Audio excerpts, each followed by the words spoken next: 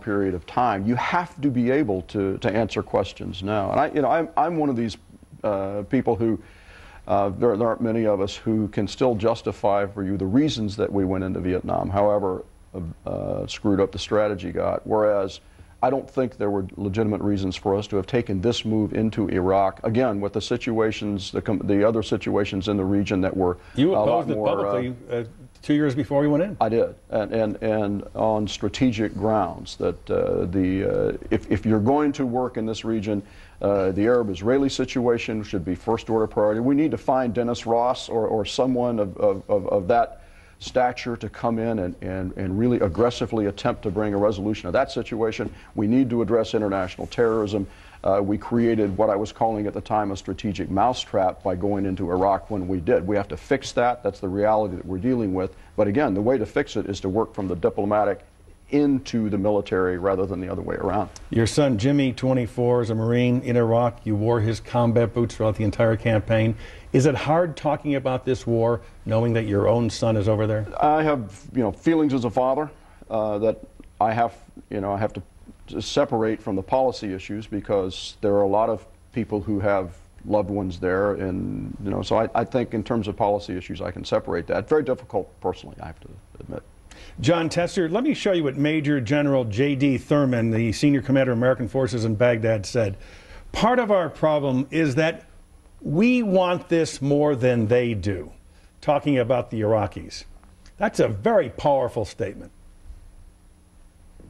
Well, I mean, I, uh, the, you know, if you go back to what what uh, Senator-elect Webb said about diplomatic pressures, um, uh, you know, I think that is, is just so right on the mark.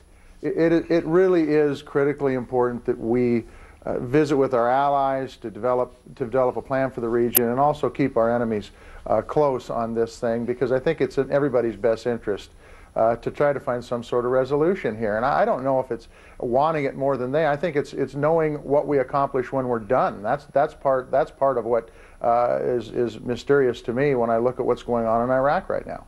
One of the things that happened the day after the election, Jim Webb, was uh, President Bush announced that Donald Rumsfeld was leaving, that Robert Gates was going to replace him as Secretary of Defense. And there's a photograph of Mr. Gates meeting with John Warner, the chairman of the Armed Services Committee. Uh, would you like to be able to vote on Mr. Gates' confirmation? rather than have him confirmed before you're sworn in? I would, and that has been misinterpreted by, by some. I heard there was a column by Robert Novak saying that I have some personal animus toward Mr. Gates. I don't even know Mr. Gates. But if this is an individual that I'm going to be working with for the next two years, I would like to be able to ask my own questions and to examine, uh, you know, his his uh, qualifications, and I, I, think that's sort of logical. If it doesn't happen, it doesn't happen. But certainly, I would like to be able to, to sit down in its confirmation hearing and take a vote. Let me turn to the issue of congressional corruption. Uh, Jon Tester, here's a campaign ad that ran all across the state of Montana. Let's watch and come back and talk about it. Look around Montana and you'll see Jon Tester is catching on. He'll put an end to Senator Burns' kind of corruption and make the U.S. Senate look a little more like Montana. I'm Jon Tester and I approve this message. I approve the haircut too. Take away the haircut. Let's talk about corruption. Uh, you talk about Senator Burns' kind of corruption. Right now, there are proposals before the incoming U.S. Senate, Senator elect, which will talk about free meals and airplane rides and so forth. Two of the areas that some in the Senate, some Democrats don't want to go near, are establishing an Office of Public Integrity and also full disclosure for the so called earmarks, a money that senators target for their home states. Are you in favor of a comprehensive reform package that would include the creation of an Office of Public Integrity and deal with earmarks? I, am I'm, I'm not, I will tell you that, that building the bureaucracy in Washington, D.C. is not something that I'm crazy about. So developing another office is uh, something I'd take a hard look at before we did it. I do think that we need to get a hold of the earmarks situation and make sure that uh, they're, they're transparent, make sure that the people who are offering the earmarks, we know who they are. Uh, but, but really transparency in government is the key here, Tim. Uh, when you talk about influence that uh, the K Street lobbyists have on the process, I think we can limit that. But ultimately, in the end, uh, you need to have people in Washington, D.C. who are honest, who, are, who can't be bought. And, uh, and we will come up with an ethics plan. We talked to Senator Reid about that, uh, that, that will uh, take care of some of the, the, the free meals and travel and all that stuff.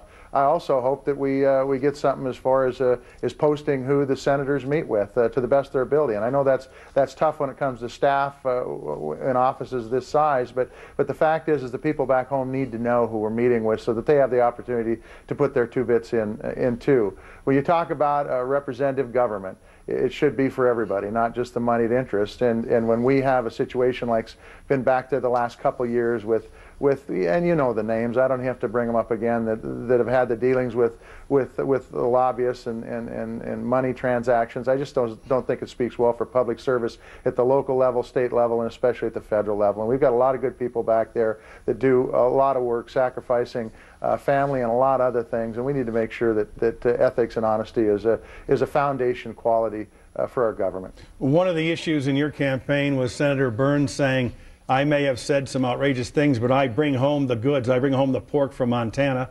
And Senator Harry Reid, the Democrat, said, if you vote for Jon Tester, we're going to put him on the Appropriations Committee as soon as possible. Uh, that's where the pork is. That's where the earmarks are. But you didn't get on that committee. What happened? Well, I think that uh, Senator Reid did the best he could do, and, and I think that I don't think any of the freshmen got on that committee. Uh, I hope that uh, I will get on it as soon as possible. I've talked to Senator Reid about that, and I think it will happen. I'm very happy with the committees I got. I've, I've received uh, in the Senate, and and uh, you know I've, I've been in the process in state government for eight years.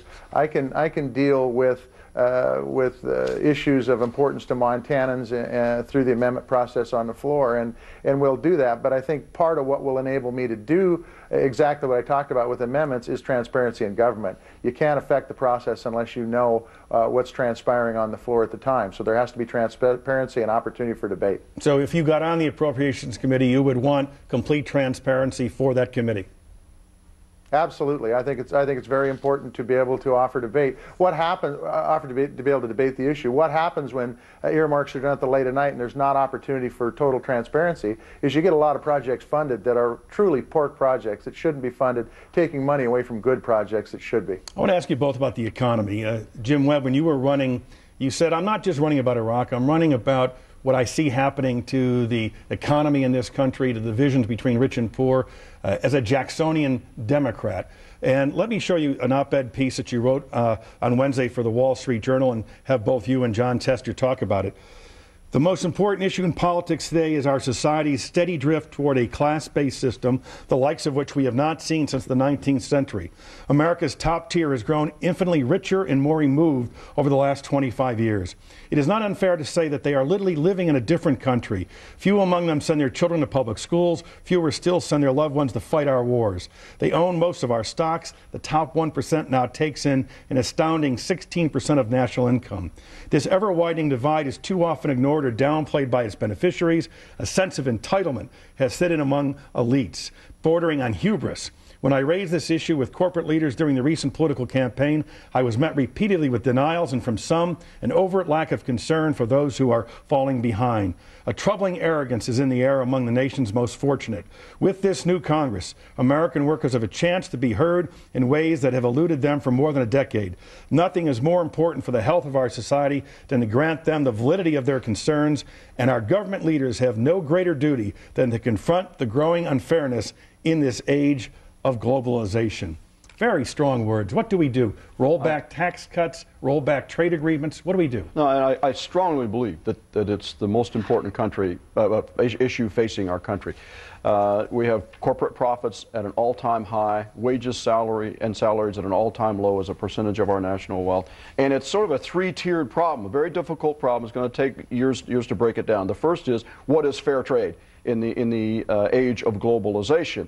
Um, we can talk about free trade agreements, but when are, when are they not fair? China is the best example of that.